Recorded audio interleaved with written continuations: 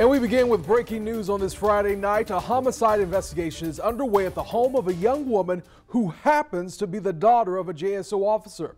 This is all happening on Hunt Street in the Lackawanna neighborhood, and that's where our Julia Janae joins us live tonight. So, Julia, what can you tell us at this hour?